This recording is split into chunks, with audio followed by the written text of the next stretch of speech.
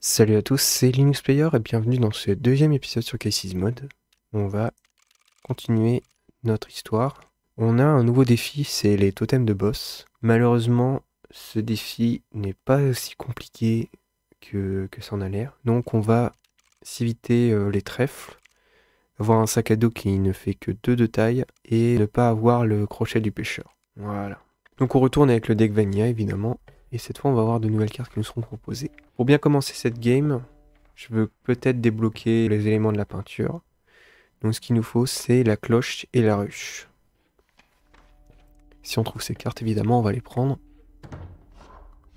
Ce serait bien d'avoir un peu plus de contenu de Cases Mode. Donc c'était la ruche et la cloche. Ce qui est intéressant à voir ici, c'est euh, la chèvre noire et euh, l'élan. Ça transforme le deck en invocation de grosses cartes. On peut essayer d'avoir comme au dernier épisode euh, le loup qui a attaque bifurquée, mais l'attaque bifurquée ne nous est pas proposée.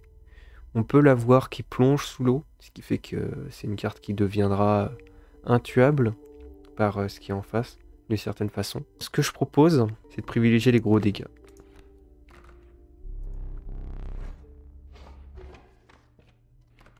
Et on va aller directement sur les flammes.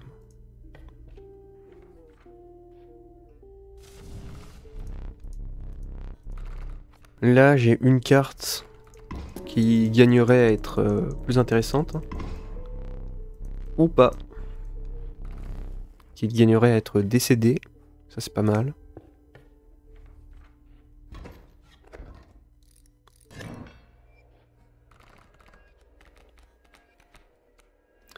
Je peux tout de suite invoquer mon élan.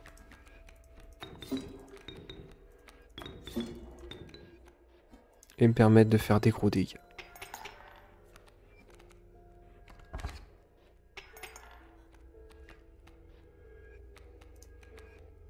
On va essayer d'avoir quelques dents en plus.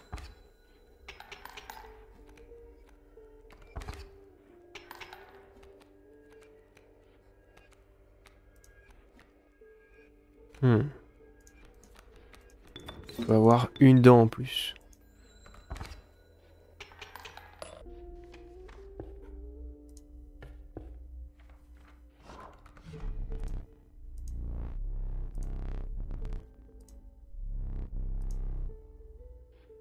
Ok.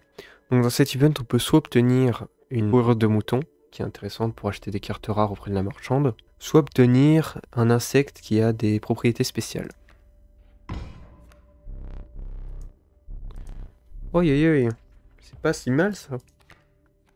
Et ça nous rapproche de notre objectif de la peinture. Oui, qui nécessite une ruche. Je propose de sacrifier la chèvre noire sur l'hermine, ce qui utilisera la mécanique du jeu qui dit de toujours commencer avec une carte à un sacrifice dans les mains. Du coup, pouvoir invoquer tout de suite euh, les cartes à deux sacrifices. La ruche, étant donné son symbole de fouille, me permet de récupérer euh, cette carte si jamais c'est nécessaire. Généralement, je préfère éviter les totems qui donnent pas tellement de contrôle. Malheureusement, ça fait perdre euh, la tribu. On n'a pas euh, des tribus communes entre nos cartes.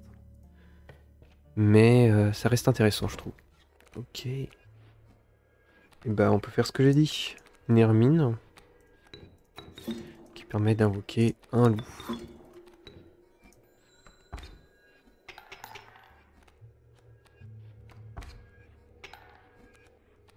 Et voilà une bataille rudement menée.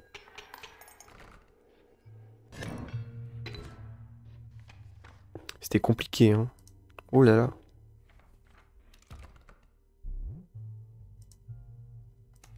Ok, pas de trèfle. Alors, le symbole des insticots peut être intéressant à mettre euh, sur un élan, par exemple. Les mulots, je sais pas. En fait, il y a un nerf dans Cases Mode sur le symbole de fécondité, donc euh, le symbole est pas si intéressant que ça. Après, ça reste une carte assez forte. Donc euh, ça peut être intéressant de l'avoir malgré tout. Donc on va la prendre. Et on va tout de suite aller essayer de la brûler. Je suis pyromane.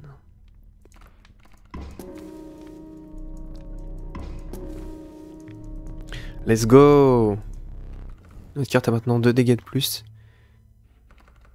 Ce qui la rend extrêmement géniale. Je vais au combat de totem, je n'ai peur de rien. Je sais que mon deck est fort. Il ne faut pas avoir peur.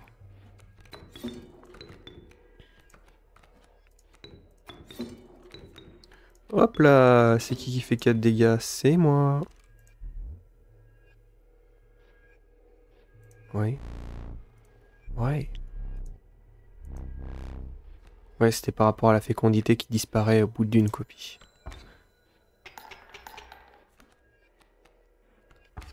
Ça rend le jeu plus équilibré, mais un peu moins fun peut-être. Enfin, ça se discute. Hein.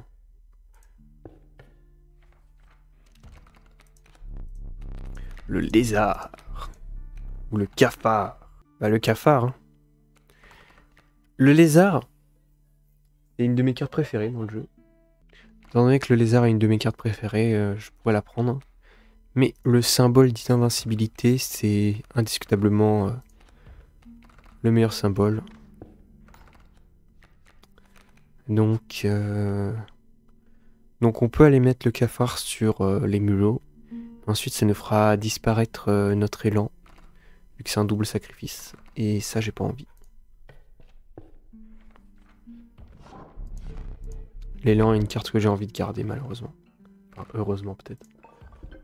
Euh, je pouvais prendre le symbole de blocage, mais je préfère prendre les têtes d'abord. Hmm. J'avais ce beau discours sur l'élan, mais c'est tentant de le brûler. On va faire le loup. Ok. Ça aurait pu être euh, un 5 dégâts, mais il a préféré se suicider. Grand bien lui fasse.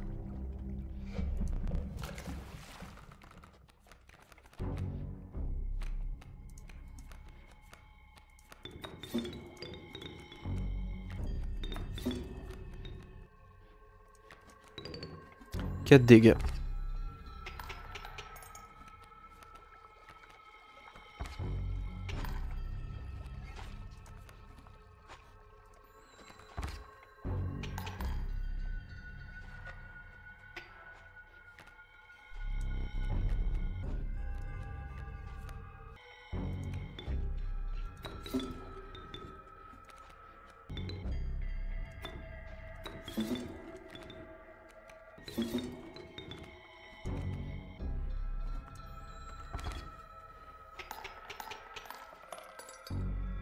Dégâts.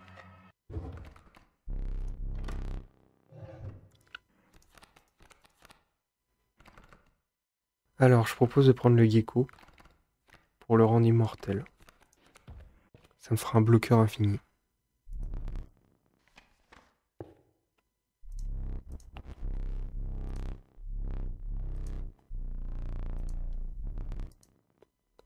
Ok. Là, vient de parler d'une autre caractéristique de Casey's Mode, c'est-à-dire euh, la réorganisation des maps, qui est plus aléatoire. Ça permet une rejouabilité plus intéressante. Pour cet event, je vais essayer de le perdre. Mon deck est plutôt pas mal, donc j'ai envie de le garder tel quel. Ce que je peux faire également, c'est mettre, mettre immortalité, invincibilité sur euh, sur mes mulots. À voir. Ouais, non. Ils sont déjà assez bien comme ça. Le gecko débilus. C'est bien pensé. Euh, je peux aller me chercher un totem. Ouais. Je pense aller faire ça. J'ai pas besoin de nouveaux items. Donc, euh, donc allons-y quoi. Hmm.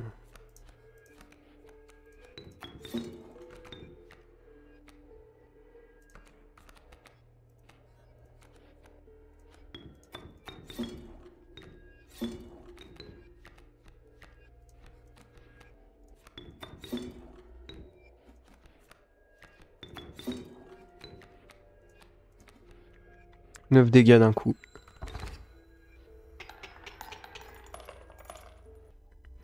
Allons chercher ce totem. Il y a un chèvre noir.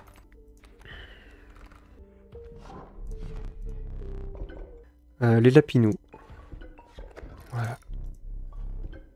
Ça va nous donner une infinité de, de sacrifices possibles. Quand on est en partie. J'espère pouvoir le démontrer maintenant. Ouais, on, va, on devrait pouvoir le démontrer. Alors, le gecko.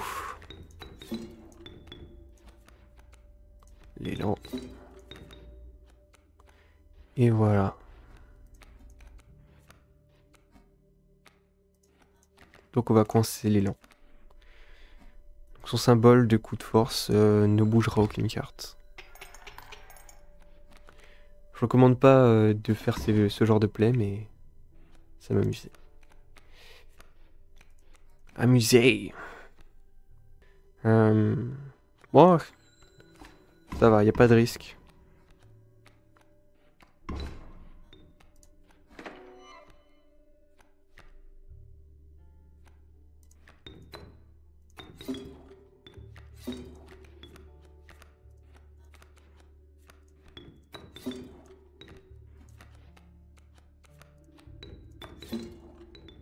Ah merde. Bon, c'est pas grave. Ça fait 6 dents en plus à la place de 7 dents en plus. Ça ira. Je pense aller chercher les flammes.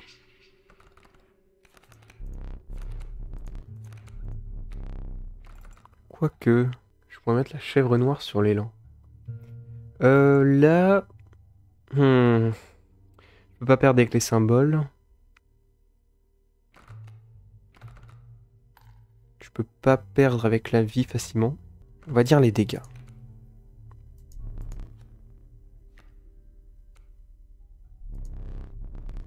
Hmm. Tout était perdu.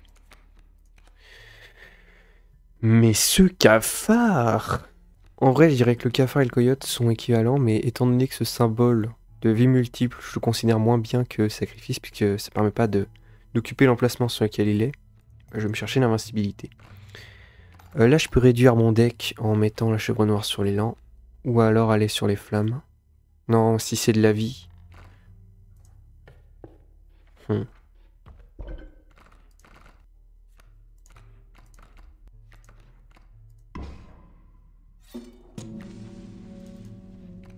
Normalement, ça devrait permettre à ce que les lapins qui sont générés par cet élan aient aussi la caractéristique de grand sacrifice. Ce qui est intéressant à voir.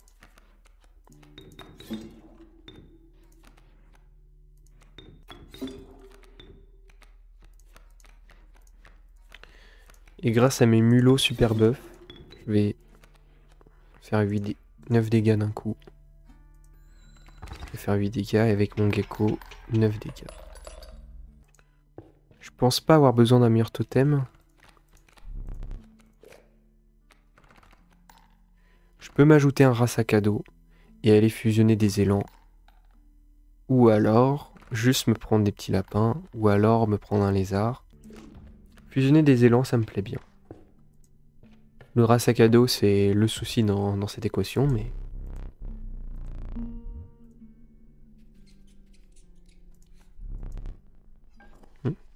Ça va quand même.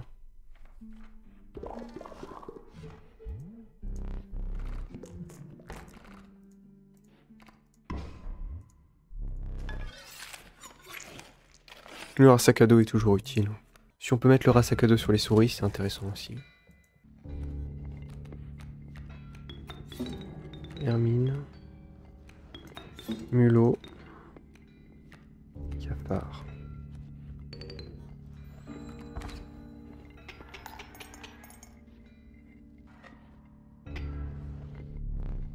Très risqué ces plays, mais acceptable.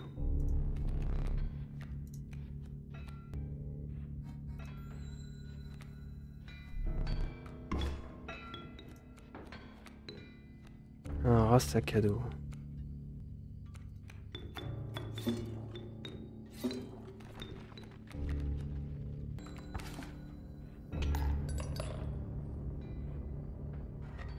Pas toujours maximiser les dents.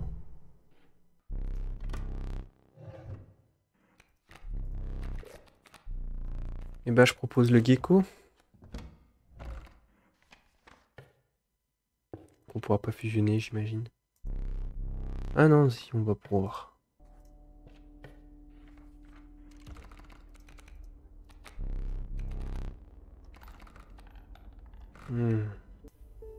Bon, euh, je sais pas quoi prendre.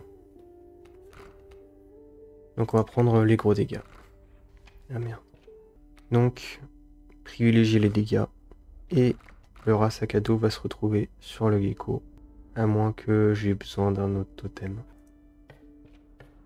Ah non, j'avais les lapins.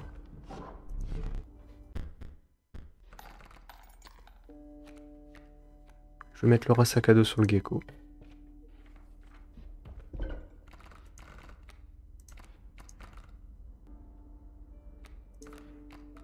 Non, sur le corbeau.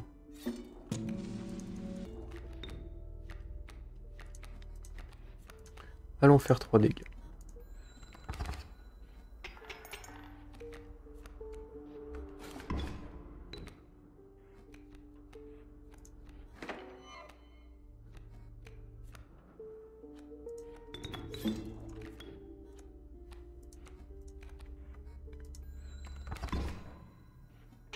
J'aime mon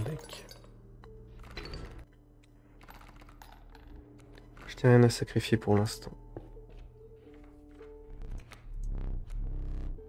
Les tribus, ça peut être perdu ça. Hmm.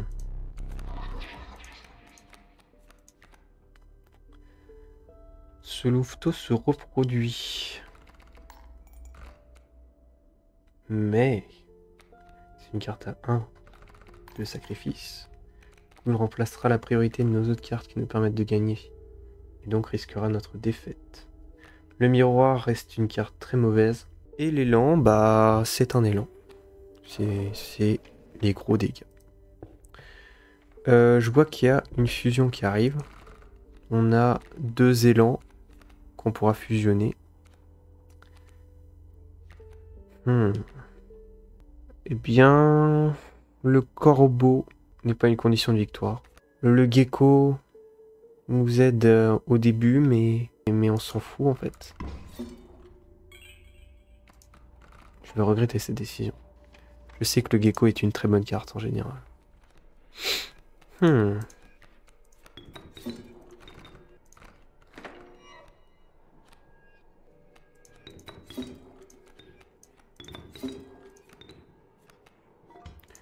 Allons nous obtenir un meilleur... Euh, allons nous obtenir un meilleur item. Hmm. C'est parti.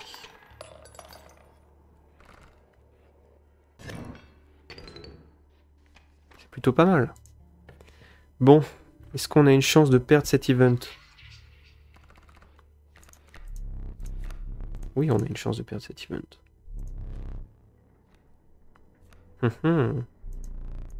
Tu fais moins le malin.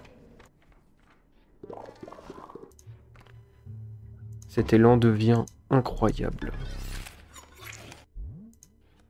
C'est les lapins qu'il va fournir qui seront peut-être moins incroyables que ça. Mais bon, on fait avec. Je me demande si les abeilles ont, ont les bonus. Sus.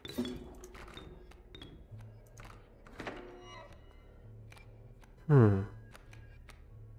Mais je ne peux pas la jouer. Oh. Je veux pas m'embêter. Hein.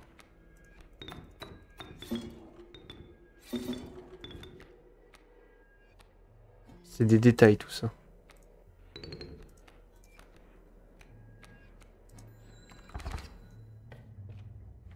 Hmm, j'aurais pu avoir une fusion en plus, mais...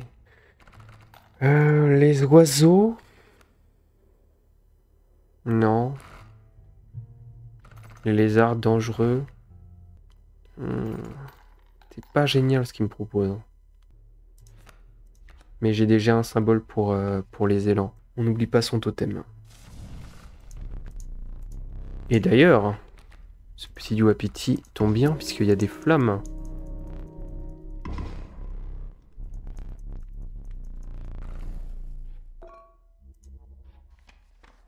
J'ai obtenu des os. Peut-être que le cafard n'est pas aussi génial qu'il n'y paraît. Peut-être qu'il a envie d'avoir plus de points d'attaque. Le corbeau gagnerait aussi à avoir plus de points d'attaque. Le cafard. Tu nous as embêtés au dernier combat. Et tu restes dans le deck. Je suis pas encore passé par le trappeur, mais... Je sais de quoi il retourne. Dans cette reine.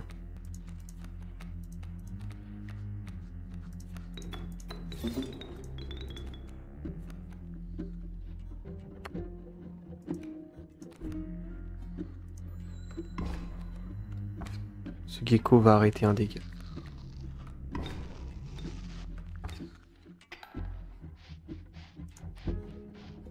Le cafard.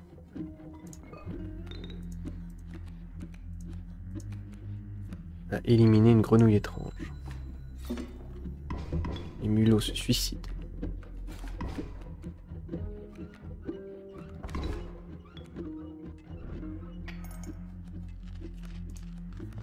Wow, mais il évolue, c'est vrai. Hmm. Tout comme ce lapin.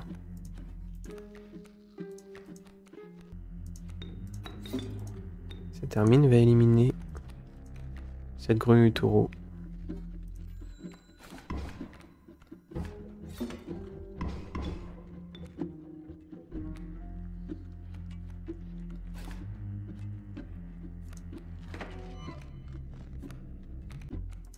De jouer mulot ici.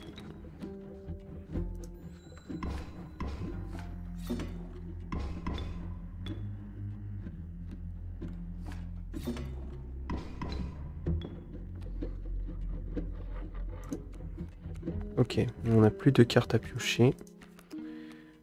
Petit cafard, gecko et hum, lapin corbeau et gecko. On a une chèvre noire. Je compte la garder, je pense.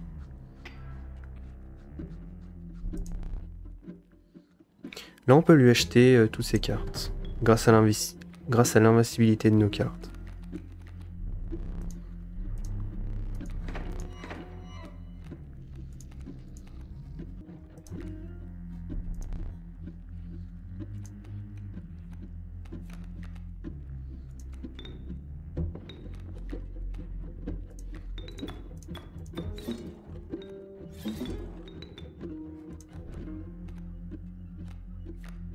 Dégâts maximaux.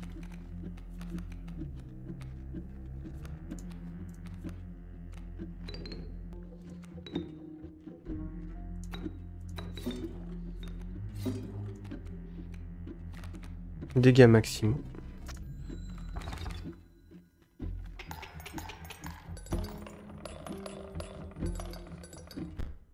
Cinquante-quatre dents.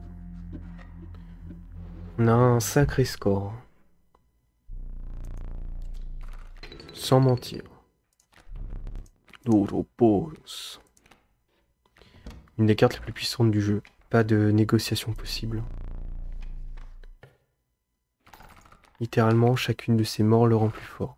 Bah, on n'a rien à faire. Peut-être mettre... euh, Peut-être rien du tout, quoi.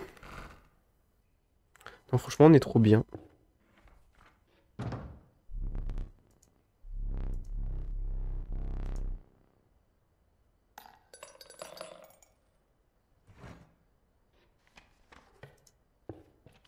Non, je suis trop confiant en fait. On y va. Hmm. Et on fait bien.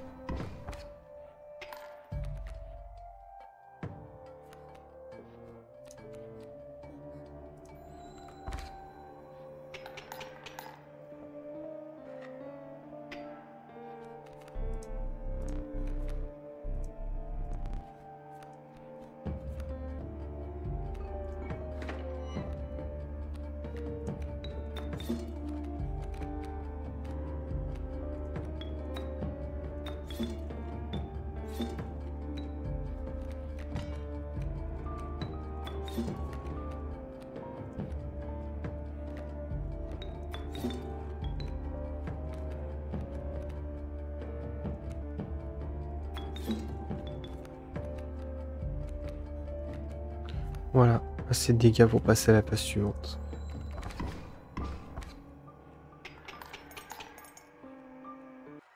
J'ai bien fait de prendre le corbeau.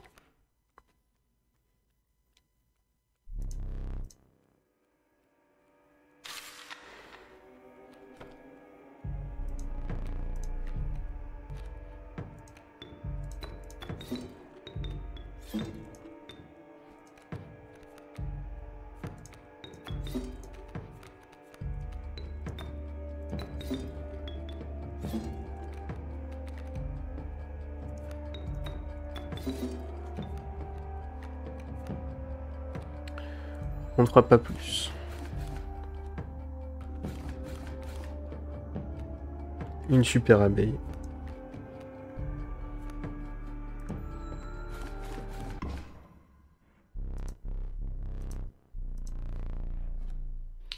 Dis donc, c'était euh, fort tout ça. On termine en beauté.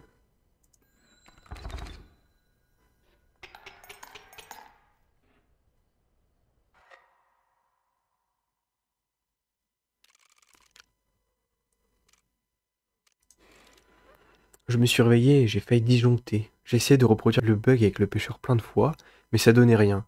Puis je me rendu compte que j'étais en train de tester sur une autre disquette. Donc j'insère la même disquette qu'hier soir et... Les chi est en 3D. C'est quoi ce bordel? Je pige rien, merde. C'est peut-être moi qui suis folle. Tout le jeu a changé. Les chi a pris le contrôle de tout et c'est en 3D. Qui est-ce qui pourrait bien me croire? Hmm, très mystérieux. On débloque l'homme taupe bloque une créature adverse avec euh, l'emblème vol. Si une créature ennemie, son adversaire se point d'attaquer homme taupe se déplace devant elle pour subir l'attaque. Je pense que c'est pas l'homme taupe. Et voilà, on a le deck de départ le plus puissant. Après Vanilla. Non, je déconne. Il y a mieux que Vanilla avant ça. Mais euh, on testera ça au prochain épisode, je pense. Allez on a également débloqué le déséquilibre. C'est un défi très compliqué. Hein. On a hâte de voir ça.